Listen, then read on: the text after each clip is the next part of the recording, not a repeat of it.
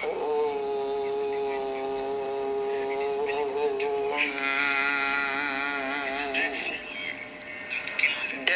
is the passage to the end in life.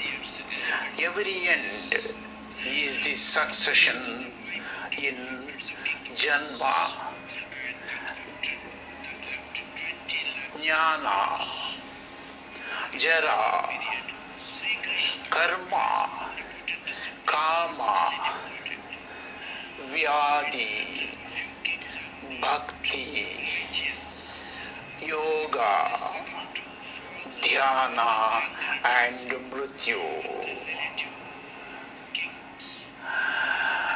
Janma, meaning taking birth in one species of life.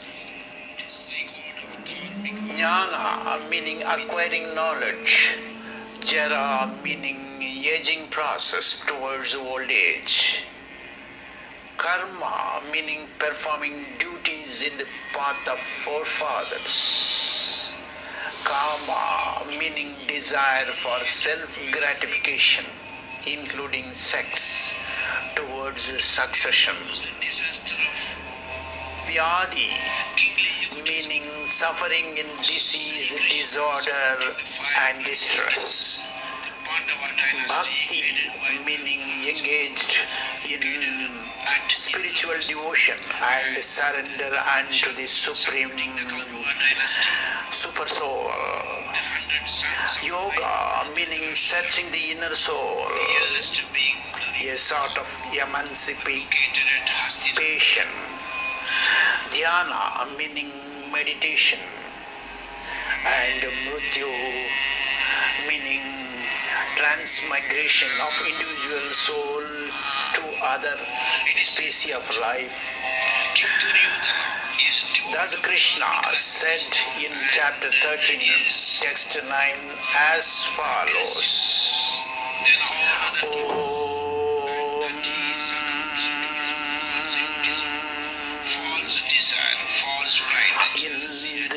अर्थेषु वैराग्यम् अनहङ्कारः एव च जन्म मृत्युजरा व्याधि दुःखदोष अनुदर्शनम् Death is the transmigration of life energy from one species to another species. Recurring birth of one species being compensated by death of another species. Thus Krishna said in chapter 2, text 27 as follows. Oh,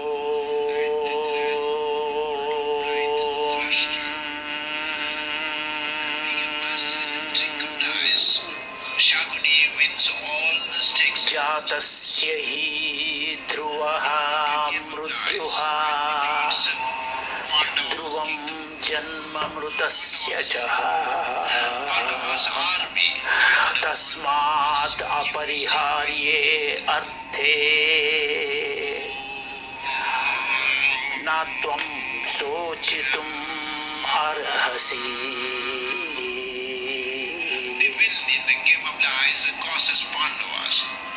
thus the approach to birth death cycle or the cycle of life energy or the other name soul energy referred in Bhagavad Gita is beyond matter is beyond perception is beyond sensation.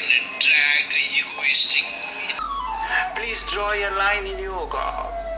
This safeguard in Lakshman Rekha succumb death in yoga, the everlasting peace after death duty. Please push them into yoga, the deep breathe in the double. I wishing you good luck in yoga. Thank you for today and good luck for tomorrow.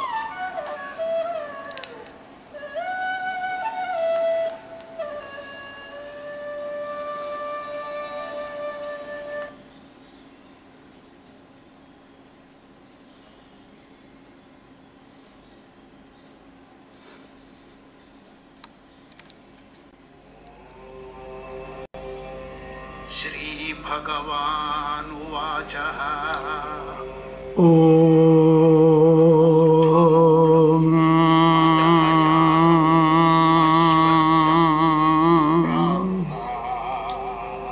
Pachari Yoga International Trust.